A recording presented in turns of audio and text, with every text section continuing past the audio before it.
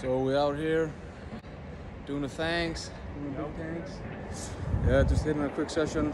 Uh, going to the gun range and a football game and stuff today. Uh, yeah, got some guests. The other guys went to the normal gym. They wanted to pump the bice, which is cool. We'll all be pumped up and swole tonight. Uh, but yeah, just hitting the normal shit. Peace.